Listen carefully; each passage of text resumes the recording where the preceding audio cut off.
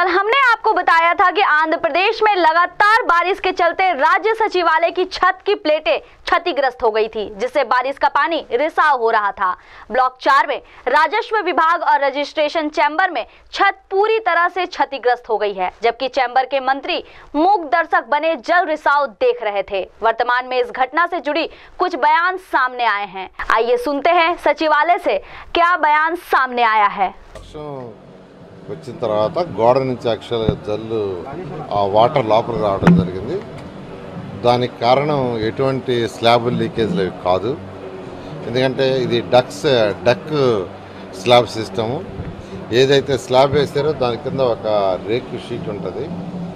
అది బయట గోడ కట్టారే ఆ గోడ ఏదైతే బ్రిక్ వాల్ కట్టారో దానికంటే కొద్దిగా ముందుకు ప్రొజెక్షన్ కొన్ని దగ్గర అక్కడక్కడ వచ్చి వచ్చింది.